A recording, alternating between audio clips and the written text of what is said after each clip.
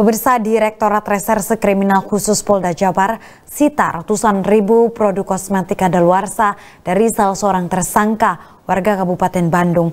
Untuk mengelabui konsumen, pelaku merubah label kadaluarsa dengan menghapus dan menggunting label kadaluarsa yang menempel pada produk tersebut.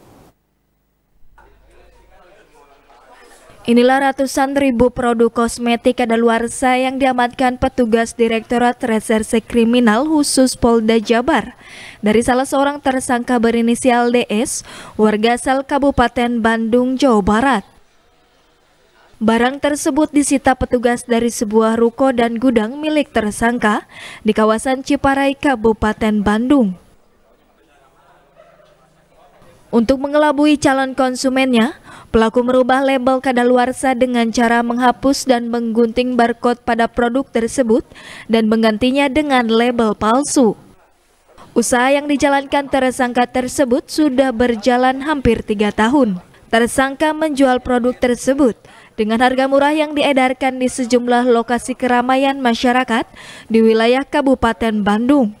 Dalam sehari tersangka bisa meraup penghasilan hingga puluhan juta rupiah. 3 juta ya. Nah berlangsung sudah tiga tahun. Ini omsetnya, ini satu hari. Ini karyawan ini mampu menghapus, menggunting atau mengganti produk-produk yang habis masa expirednya ini atau masa berlakunya ini ini sehari bisa 2000 sampai 3000 pieces atau 3000 macam ya. Ini penghasilannya satu minggu ini bisa 5 juta sampai 10 juta. Kepada petugas tersangka DS mengaku ia mendapatkan produk tersebut dari Bogor yang dipasok dua orang kenalannya yang hingga kini masih dikejar polisi.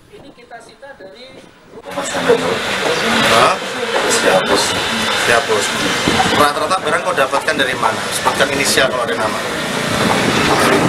Bogor. Dari Bogor. Dari saudara siapa? Sebutkan namanya. Inisial. Inisial, huruf depannya. S. S, siapa lagi? Ratusan ribu produk kosmetik tersebut terdiri dari lipstik, bedak, alat mandi dan produk kecantikan lainnya yang sudah tidak layak diedarkan dan dikonsumsi masyarakat karena dapat berbahaya bagi kesehatan. Untuk mempertanggungjawabkan perbuatannya, kini tersangka terpaksa harus mendekam di sel tahanan Mapolda Jabar. Tersangka dijerat pasal berlapis tentang perlindungan konsumen dengan ancaman maksimal lima tahun hukuman penjara. Yuwana Kurniawan, Bandung TV